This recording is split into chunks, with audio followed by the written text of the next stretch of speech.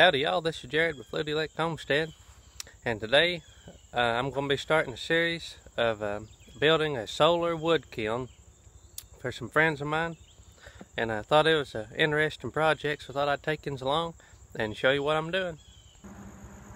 Alrighty, here we have our footings in already. I've dug these out and uh, it's going to be 12 by 24 and I put a pier every 6 feet and uh, the concrete is uh, 8 to 12 inches deep.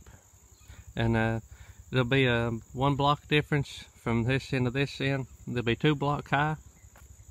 And uh, today I'm going to set my block in place and get the floor built and uh, go from there. Alrighty we got our block set in place and I got it all uh, squared up.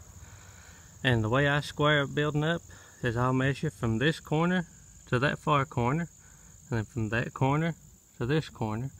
And when those two distances are the same then the building is square. So uh, and there I've leveled all my concrete when I poured it so all my blocks should be you know within a, probably within a quarter inch of being level. So we're ready to um, I'm gonna hook the power up here and we'll be ready to start uh, framing the floor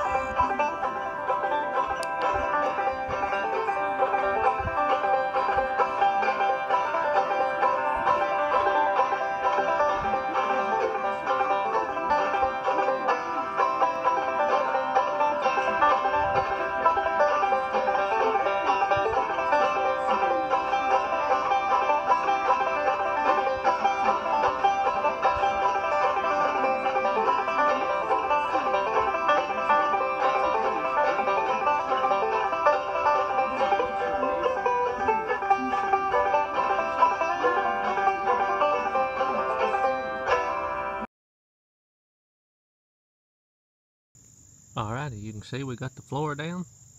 And uh, it's framed with oak 2 by 8 on 16 inch center and a beam down the middle. And this is Advantech on top.